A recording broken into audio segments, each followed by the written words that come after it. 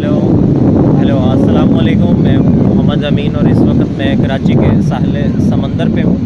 और मैं यहाँ पर आकर बहुत अच्छा लगा। मौसम बहुत अच्छा है, लेकिन उसके साथ साथ एक चीज़ मैं आपको यहाँ पर साहिल समंदर पे दिखाना चाह रहा हूँ। जिससे हमें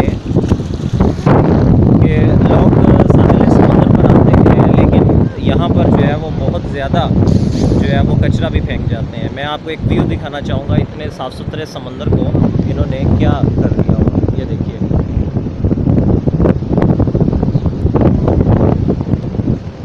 ये देखें बहुत ज़्यादा लोग खाने पीने के बाद सारे चीज़ें यहाँ पर फेंक जाते हैं, जिसकी वजह से देखें कितना बहुत बैड व्यू लग रहा है।